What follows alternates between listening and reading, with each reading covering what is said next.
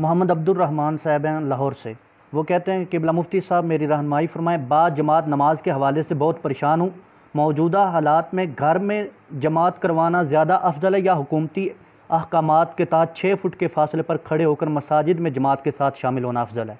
तो इसमें ज़ाहिर है कि वो जो छः फिट का फासला है, वो एक फितना और एक बिदत है।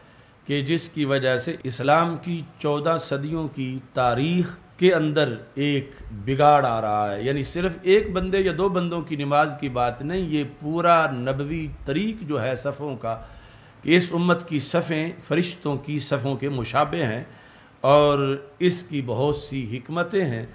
तो इसको वहाँ जाकर उस नेटवर्क में खड़े होकर अपनी हाज़िरी खिलाफ सुन्नत काम में नहीं लगवानी चाहिए। वो अलहदा जमात का एहतमाम करें और उसमें नमाज़ पढ़ें।